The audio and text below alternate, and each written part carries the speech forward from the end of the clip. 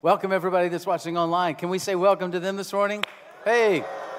All right. a lot of people watching online these days, and uh, maybe one day you'll be able to come and be with us in person. It's better in person, right? I know. Yeah. So, anyway, when you can, we'll look forward to seeing you there. I'm going to preach a special message today. Since this is Mission Sunday, the title of my message is called Life on Mission. And I'm going to speak to you uh, with regards to how we are to live our lives on mission. Isn't it ironic that there are times when we have the most life giving, authoritative, kingdom dominion message, and yet something prevents us from letting it out? Anybody ever experienced that? Liars. Come on, I. All right, maybe, maybe you all are just bold witnesses every day. Okay? Good. this is amazing. My preaching's having more effect than I thought. I need to preach to myself more then because I struggle with this personally. I have, uh, there's always this, the enemy wants to silence you. The enemy would love to keep you silent. And uh, I have to remind myself of what I'm going to remind us all today. Uh, I have to preach every message that I preach, I have to preach it to myself first because I need it too. So I want us to look this morning in the book of Acts, chapter 4. Acts chapter 4, verse 13. Go ahead and turn there. Scroll there. Whatever your flavor is. Acts chapter 13.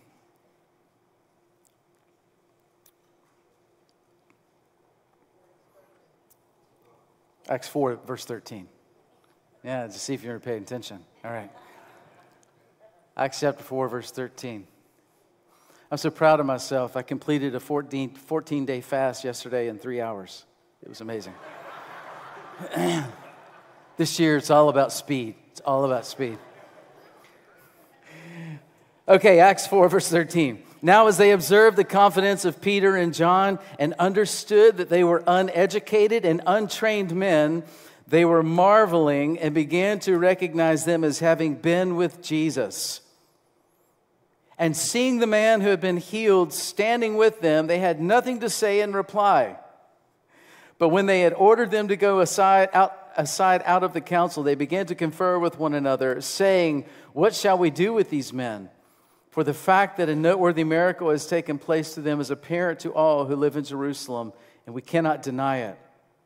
But in order that we may not spread any further among the people, let us warn them to speak no more to any man in this name.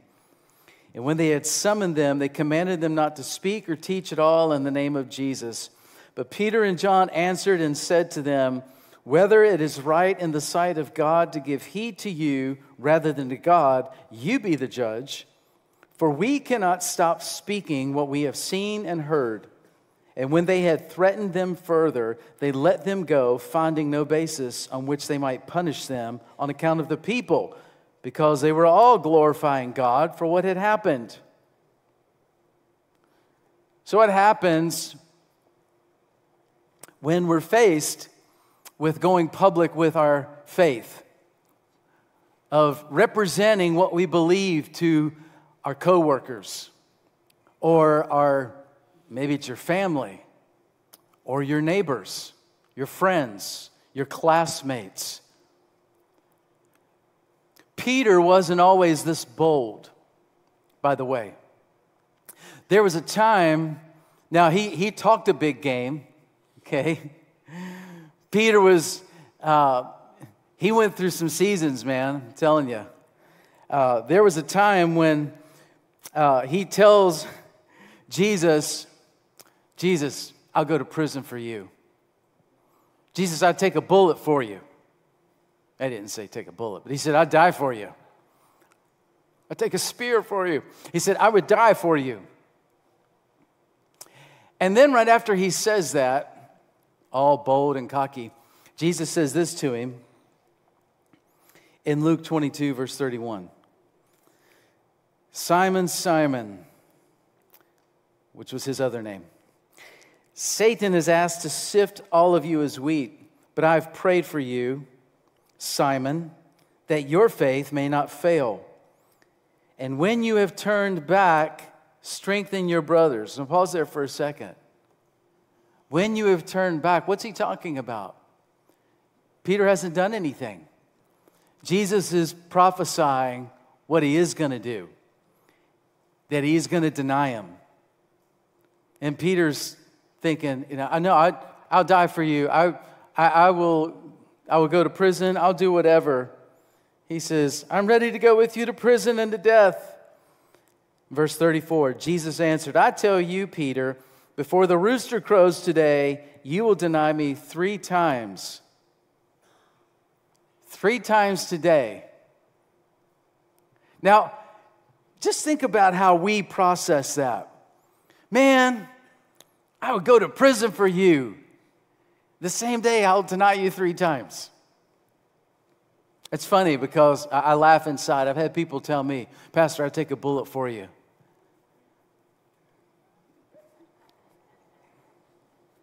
And then the next week, they're gone.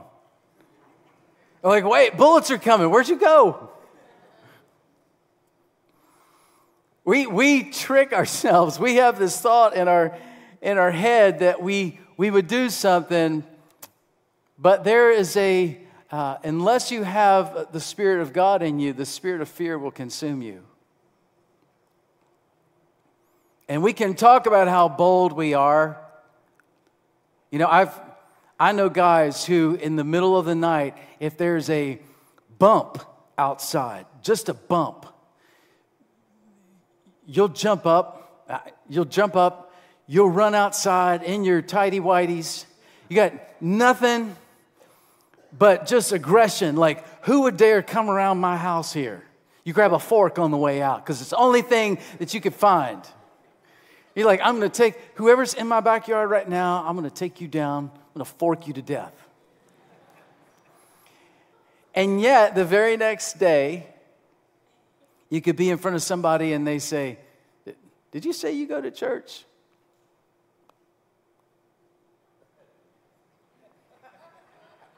I mean, you know, Christmas, Easter, doesn't everybody? I mean, sometimes, you know, it's, it's short, we're in and out. Yeah. Or your classmates. Hey, you one of those Christians? You believe all that stuff? Science teacher said that we, we evolved. Come on, you need some facts. Why don't you get your facts straight? Start, stop believing in those myths. The Bible's an ancient book of literature. It means nothing today. Come on, it's not even up to date.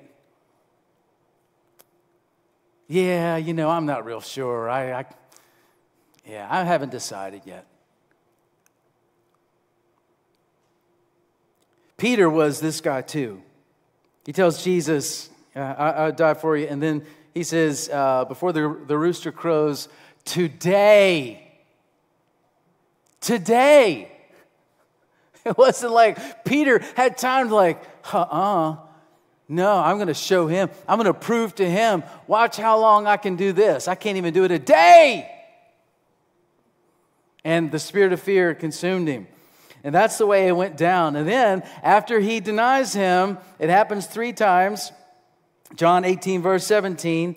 Uh, there's this, uh, it says, one of the people around the fire, they, so Jesus is now, he's been arrested. Peter's hanging around outside and they're warming up by a fire. And one of the guys says, Aren't you one of the man's, this man's disciples too? And uh, she asked Peter, he replied, I am not. What? You're, you're outside waiting for Jesus is in there getting, getting beat and he's in there getting accused wrongly and you're out here and then all of a sudden, no, I don't know him. Don't know. A little later, uh, the same fire, same time, verse 25, it happens again. They said, Hey, aren't you one of his disciples? No, no, don't know him. And then it happens again.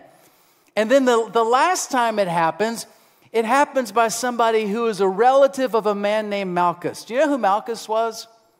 Malchus was one of the, one of the guards who went to the garden where Jesus was with his disciples that night when he was arrested.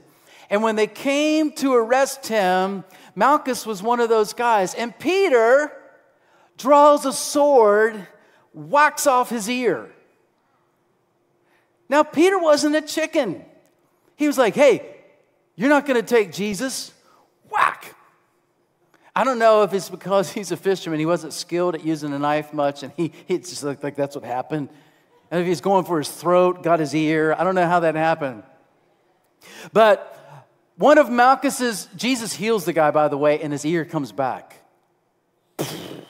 And one of Malchus's relatives says, Hey, aren't you the guy that cut off my cousin's ear? Well, I could see that. No, no. You know, that one has some cause and effect. But these are people asking some innocent questions to a guy, and they really don't have a, a you know, a, any motive to hurt him. They're just saying, hey, and then he does it the third time, and the rooster crows.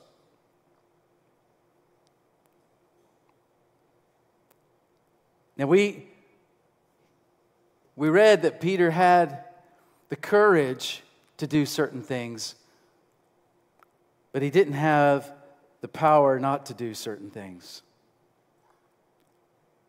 And I want you to see that, and I've got just a little bit of time to show you what transformed Peter from being shy and timid into being bold and declarative. And it's the same thing that you and I have access to. There were three gifts that God gave Peter that allowed him to move from this guy to this guy. And we see them in 2 Timothy chapter 1 verse 7. For God has not given us a spirit of fear, but of power and of love and a sound mind. Peter's change from fear to faith came because of three things three gifts. One was not the gift of fear, it was not a spirit of fear. Fear comes from the enemy. But God says, I've given you a spirit of power, love, and a sound mind. Acts chapter 4, verse 13, it says, They saw the boldness of Peter and John, and they perceived that they were uneducated and untrained men. They marveled and they realized that they had been with Jesus. There's a power that comes from being with Jesus. And these people recognize that that these disciples were uneducated, were unlearned, and there's nothing wrong with being educated and unlearned, but it doesn't promise you the power. It can't give you the power of the gospel, it can't give you the power of the Spirit. Just being educated and learned is a good thing, but it doesn't promise the power. These men were fearless, not because of their training, not because of their education, but because they had been with Jesus. If you want power in your life, power to overcome fear, it comes from faith. It comes from faith and believing that yes, Jesus did rise from the dead, and the same spirit that raised him from the dead dwells in me, lives in me. Matter of fact, Peter and John waited that day in the upper room at the temple. They were waiting on the presence of God. They were waiting on Jesus' promise. If you need power in your life, wait on Jesus. Sit in his presence. Let him empower you. It's like it's like having a, a four-wheel drive. And you, you've got a four-wheel drive you may never go off the road. And if you never go off the road, you never need to put it in four wheel drive, right? But living life on mission means that I'm intentionally going off road. I'm intentionally prepared at all times to go wherever He says. And listen, you don't have to go to the mountains, you don't have to go to the mud, you don't have to go anywhere to get off road. You can be off road right in your workplace, right in your classroom, right in your neighborhood. You can be living off road. It's important, though, that you've got it in four wheel drive all the time. If you're living life on mission, God will use you when He wants to use you. Amen? Okay, I got to move fast. Proverbs 29 25 says, The fear of man will prove to be a snare, but whoever trusts in the Lord is kept safe. If your neighbor's house was on fire and they were asleep, wouldn't you wake them up to tell them? Of course you would. And there are many people who are asleep in the spirit today, and we, ha- we need to sound the alarm. Hey, you're, you're sleeping in the spirit. You're, you don't realize it, but your house is on fire. You don't see it right now. The devil has blinded your eyes to it, but I'm here to wake you up. Okay, power. Everybody say power. power. Say, I am, I am. Made, for mission. made for mission. Okay. The second gift that God gave was love love. And I'm not going to read this verse, but in John 21, this is after Jesus is risen from the dead. And Jesus is with his disciples and they're eating fish by the seashore. And he says, Hey, Peter, this is the first time him and Peter have had a real conversation, right? so he's like, Hey, Peter. Peter's like, Oh, here it comes. The last time we talked, I denied you three times. He says, Hey, Peter. Yeah. He said, Do you love me? Yeah. Take care of my people. Mm, okay, okay. Hey, Peter, do you love me? Yeah. Yep. Take care of my sheep. Feed my sheep. Hey, Peter, what? Do you love me? You know, Lord. You know my heart. He said, You're right, I do. Take care of my sheep. And what is Jesus saying to Peter in this passage? He's teaching him, matter of fact, yes, Lord, This passage, most importantly, identifies our motivation for caring for others, and that has to come out of a love for Jesus. You can't, you can't care for other people just because the Bible says so or because it makes you feel good about yourself. You care for other people. We minister to, minister to other people because we love Jesus. And if you don't have, if you haven't been cultivating a love for Jesus, you're going to find it hard to love other people. Cultivate. I love that word because it reminds me of a garden and you're working and you're, you're pulling the weeds and you're watering and you're feeding it and you're taking care of the plant and you're pruning it. There's a lot of work that goes into raising food. Be thankful for the farmers of this country. And so they're doing all of this work to cultivate this little plant so it produces life, right? And that's what he's saying. You need to do the same thing with your relationship with Christ. You need to cultivate it and do as much as you can and put into it to get as much as you can out of it. All right. 1 John 4:18 says there is no fear in love, but perfect love drives out fear. Because fear has to do with punishment. The one who fears is not made perfect in love. It's not a sin to feel fear. It's a sin to give fear permission. Don't give it permission.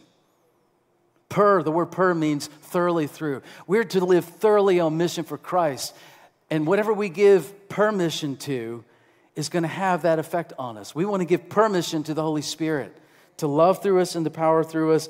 And the last one, the last gift, is a sound mind. And sound mind here is also equatable to self control.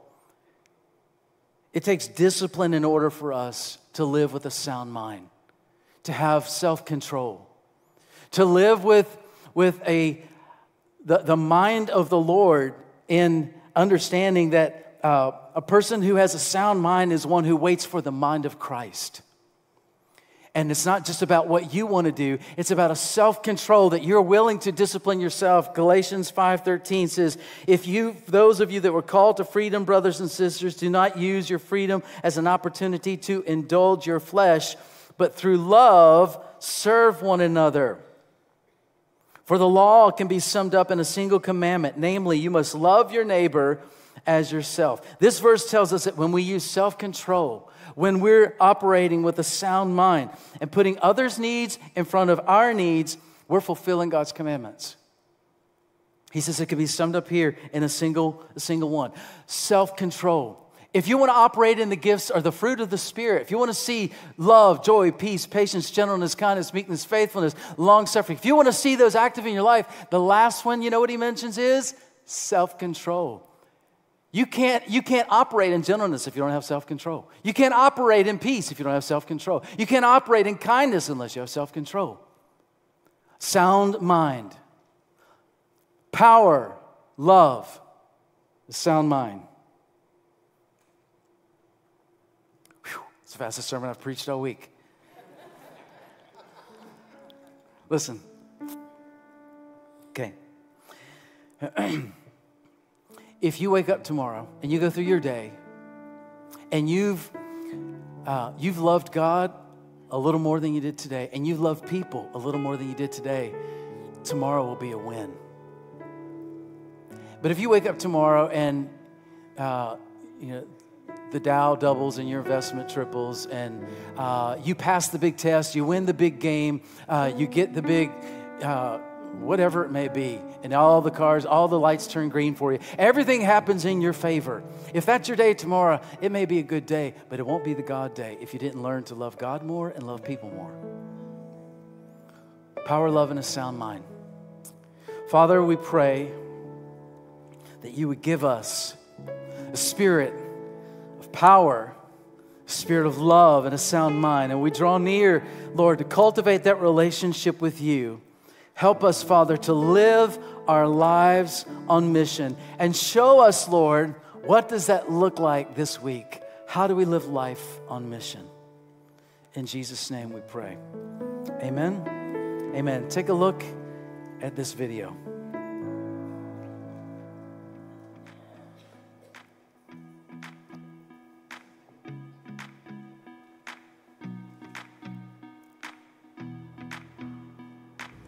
Ladies and gentlemen, welcome on board Flight 1010 with service from Cape Coral, Florida to our local and foreign mission partners.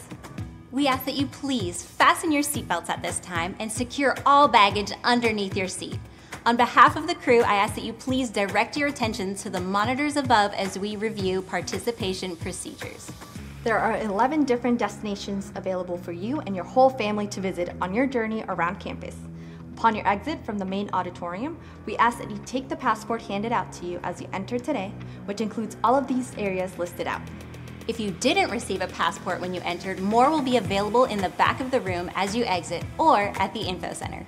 We hope you take a moment and visit each of these incredible ministries located in either the lobby or under the portico and receive a passport sticker at each of your stops. Each destination may also have sights, flavors, and experiences for you to enjoy. So stop by and grab some information on each of these amazing missions partners. If you complete your passport, then visit the prize table under the portico for a chance to win a gift card to our cafe. If you're traveling with children, you can find designated activities available on the back of the passport for them so they can participate in the journey too. And before you exit the main auditorium today, please check around your seat for any personal belongings that you may have brought on board with you. On behalf of Christian Life Fellowship Airlines and the entire crew, I'd like to thank you for joining us on this trip, and we are looking forward to seeing you on board again in the near future. Thank you for joining us as we engage the world and leading our city and world to life. And now a word from our captain, David, David Comer. Comer.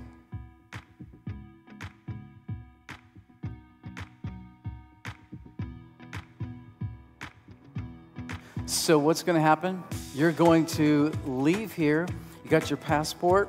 Uh, we've got all of the missions represented around the lobby, on the outside of the building, all through the building.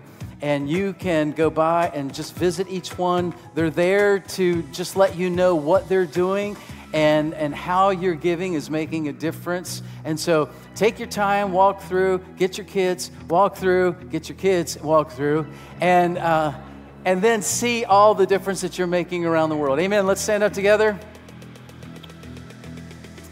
And on the count of three, we're going to leave and we're going to go do it. Ready? One, two, three. Lead someone to life. Amen. God bless you.